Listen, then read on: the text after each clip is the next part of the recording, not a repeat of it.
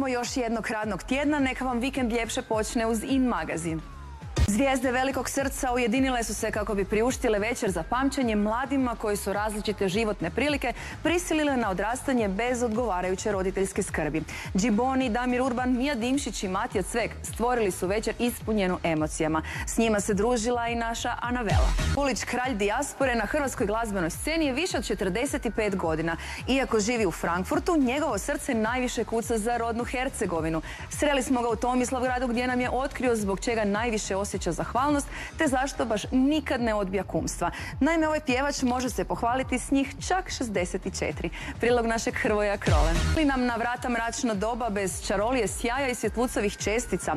Ako pitate naše make-up stručnjake, nema mjesta za zabrinutost. Sa zabranom šljokica u kozmetici ne ostajemo u svijetu sivela i mat boja, jer budućnost je itekako svjetla, ali mnogo zdravija za nas.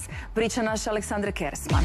Na Isusovu grobu u Jeruzalemu na sam blagdan Male Gospe i to na 20. godišnjicu svojeg obraćenja Marija Huser Rimac nije mogla ljepše zamisliti. U supruga Vjekoslava i dvojcu sinova hodočastila je u svetu zemlju. O vjeri, obitelji i putovanju života, sve uči rata u Izraelu, Marija je razgovarala s našom Larom Samaržijom.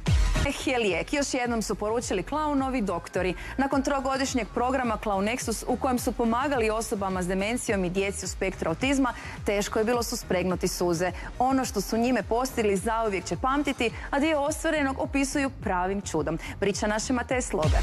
Ćemo uz reklame, ostanite s nama jer brzo smo natrag. Ima i serije Kumovi nakratko je promijenila imić. Zbog uloge u filmu Rajka Grlića, glumica Marina Ređepović promijenila je boju kose. O kakvom se filmu radi, čime se bavi u slobodno vrijeme, te koja je glumica iz Kumova majstorica ribe, otkrila je našoj Dijani Kardum. Zagrebačka grupa Adastra publiku časti dugo očekivanim petim studijskim albumom. Pjevač benda koji je poznat po nepokolebljivoj predanosti društvenim ciljevima, naš Anji Benet je otkroje kako je i sam jednom beskućniku dao krov nad glavom. Ne propustite minute koje slijede.